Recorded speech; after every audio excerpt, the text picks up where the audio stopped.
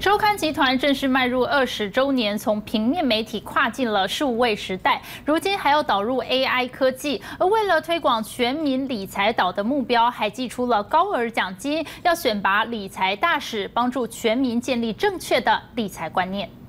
三二一周刊总裁和总经理以及金管会副主委徐永清，多位政府官员以及财经界人士一起启动玻璃球，为周刊集团二十周年的记者会开幕。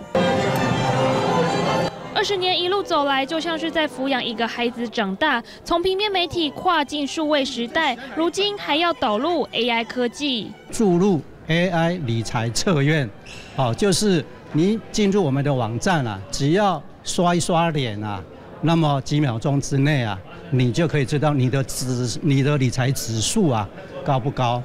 周刊总裁还表示，以后台湾生活经济和年轻人培训理财的观念一定会成为趋势。所谓的这个全民理财岛可以培训理财人才的啊摇篮啊，那我们可以培训这一方面的理财专员啊啊理财专才的人，能够到国外去赚取外汇。不止看好台湾的人才，为了推广全民理财岛的目标，周刊甚至寄出了高额奖金选拔理财大使，表扬年轻一代的杰出理财达人，鼓励现在的年轻人能够善用现在的理财工具，就是 AI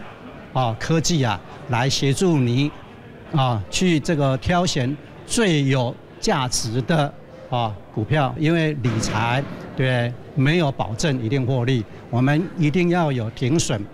帮助全民建立正确的理财观念。集团努力耕耘数位整合，希望再创黄金二十年。东森财经新闻张占黄福祥台北报道。背景都是来。